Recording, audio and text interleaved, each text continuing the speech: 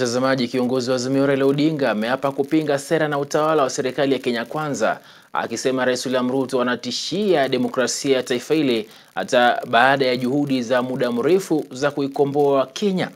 Muda mchache baada ya Ruto kutangaza kuwasimamisha kazi makamishina wanne wa IEBC, kiongozi huyo wa upinzani ya Azimio alitangaza kuwa muungano huo utaanza mikutano ya kitaifa ili kumpinga Ruto kuanzia Disemba saba. Mikutano hiyo inatarajia kushinikiza Ruto kubatilisha uamuzi wake wa kuwafuta kazi makamishina wanne wa IEBC. Duli Murigi anatuarifu zaidi. Bosire Kusimamishwa kazi kwa makamishna wanne wa IBC kumechochea hasira kwa upande wa upinzani na haswa katika muungano wa Azimia One Kenya. Kiongozi wa Azimio Raila Odinga akizungumza Ijumaa alipokutana na viongozi wengine wa upinzani kutoka Nairobi, sasa anasema kuwa Rais William Ruto anatishia demokrasia ya Kenya. hapa hapa hapo Rais Ruto Ijumaa alisimamisha kazi makamishna wanne wa IBC ambao ni Juliana Cherera, Justice Nyang'aya, Irene Masit na Francis Wanderi na kisha kuunda kamati ya kuwachunguza baada ya pendekezo la bunge la kitaifa kwamba wanapaswa kuchunguzwa kwa utovu wa nidhamu.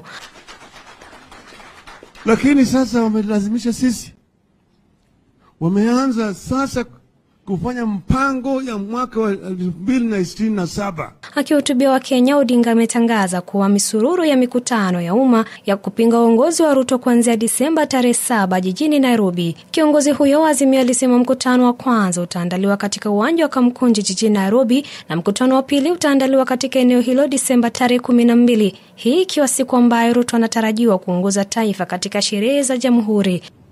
On the 7th of December at the historic Kamukunji grounds here in Nairobi, we launch a public consultations with the people of Kenya to brainstorm on the direction Kamukunji grounds on the track for democracy in our country, which is right now under a threat by this administration. Kiongozi huyo wa ODM anadai kuwa Kenya Kwanza tayari inapanga jinsi itakavyovuruga uchaguzi wa mwaka 2027 kwa kuingilia utendakazi wa IBC. of key institutions that need their independence to stand up for the country when uh, need be.